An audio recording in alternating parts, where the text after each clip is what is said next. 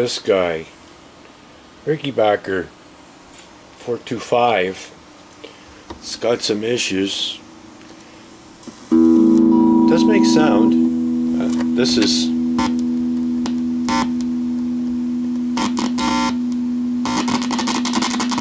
somewhat disturbing, we're not sure. This thing has had some nasty stuff happen under there. I've seen this guitar before. But we're going to make it better. We're going to do a little, try and uh, do a little better finish repair on here. And uh, there's also some chatter on the back that uh, could be looked at. It is going to get a new pickup.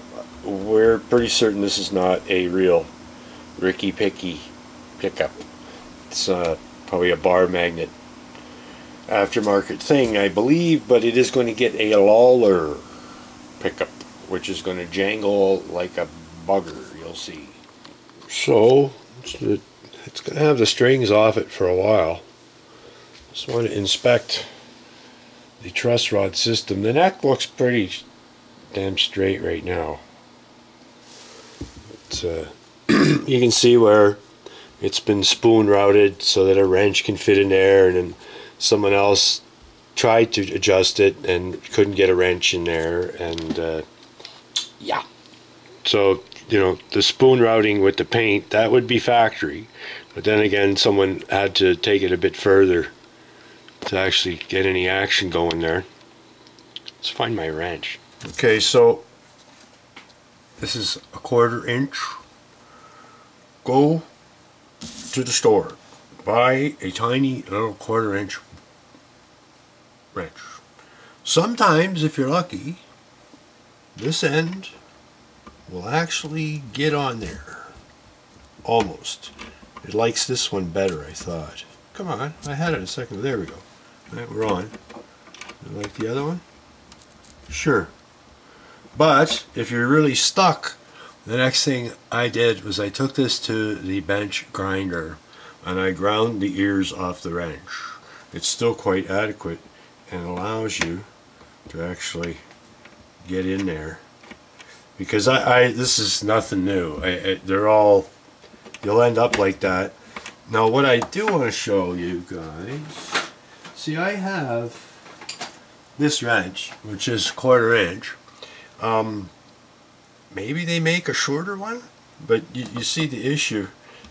The body of this little wrench doesn't want to just almost I can almost get it in there but it's it's fighting me. So I, I hate that anyway the truss rod works really nice. Truss rods I should say. They turn. The neck is really straight. Do I have a not straight edge for that? I doubt it. I highly doubt it. Oh lo and behold it's a Gibson scale-ish thing. Cool. Yeah that's really nice and straight. I'm just gonna leave that. It's not gonna have strings for a while folks so that's why I'm making sure that that works. Let's open this up and see what the disaster is. I'll show you there's another disaster I haven't revealed. Remember when I said something really nasty happened there? Oh and someone likes me. Well something nasty happened there. What the hell? Okay, well, possibly think about filling that. But, I mean, it's such an obtuse shape. We'll do our best. Be interesting. And then there's another thing I gotta show you. And remember that noise it was making when I was touching it? Well, that's why right there. But the ground wire is not connected. But I do have the correct drawing for this. And this, I, I, I'm pretty sure this is what they do. It just switches in another capacitor. We'll compare. I, I really don't want to, uh, you know, get into redoing all the wires if everything works the way it's supposed to work. Because this is not the original pick guard either, right guys? It's uh, something that somebody did after. I guess this was destroyed. Okay. Yeah, then we got that. Someone decided it needed that. That's more easily repaired than this. Um, I'll think about it, whether I really want to or not. such an obtuse shape. Make a template, cut it on a bandsaw, fit it in, glue it the best we can. Or does it even matter? And some more, not as bad as the front, but some other finished stuff that's just going to get bigger and bigger and bigger as time goes on. So this is the real eyesore here. I mean, when the pick guard's on, you don't see any of that anyway. Um, all right, and I'm really not sure about what they've done here with this bridge, and I believe there's components missing to that, which I will investigate. Well, contrary to popular belief, I can build a plug for a dog's ass, and I don't even need a blueprint. So we're gonna, you know, I think we should leave it like that, right? I'll, I'll glue that in. We'll just leave it. What do you figure? Fun times, huh? That should be tons. Maybe not. Stick her in twist her around a few times maybe even add a little bit more.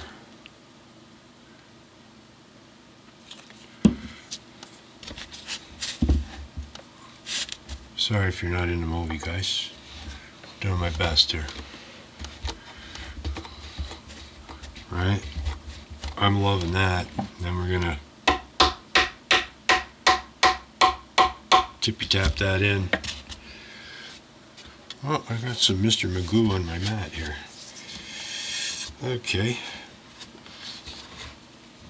And I'm really going to want the guitar to sit like this.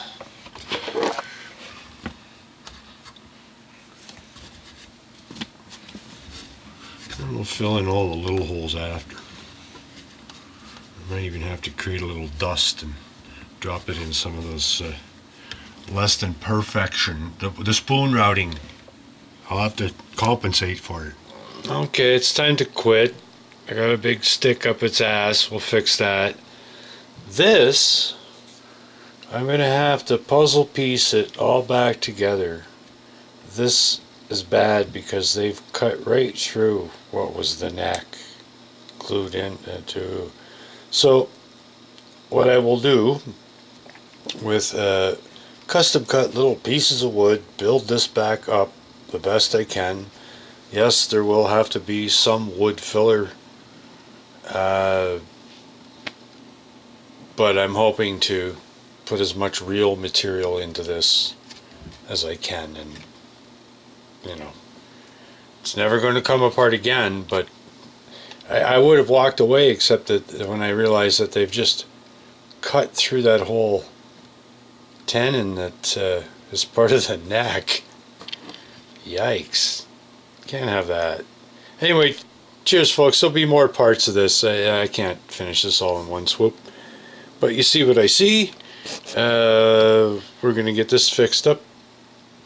And uh, use a little glue boost technology to make that pretty. Fix this stuff up. Some stuff on the back. Getting that new Lollar pickup. Uh, I'd like to investigate some better bridge technology because I know it exists but it's all about throwing dough at it. But I think it's worth it. It, it dates 1976. Uh, the neck is straight.